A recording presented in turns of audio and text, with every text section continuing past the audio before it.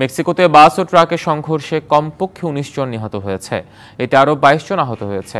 স্থানীয় সময় মঙ্গলবার দেশটির উত্তর পশ্চিমাঞ্চলের সিনালোয়া প্রদেশে এই দুর্ঘটনা ঘটে। দুর্ঘটনা কবলিত বাসটি পশ্চিমাঞ্চলীয় প্রদেশ জালিস্কোর গুয়াদালাজরা শহর থেকে সিনালোয়ার লস মুচিসে যাচ্ছিল। সে সময় বাসে পঞ্চাশ জনের মতো যাত্রী ছিল বলে জানায় কর্তৃপক্ষ। পথিমধ্যে ডাবল ডেকার বাস এবং ট্রাকের মুখোমুখি সংঘর্ষ হবার পর আগুন ধরে যায়।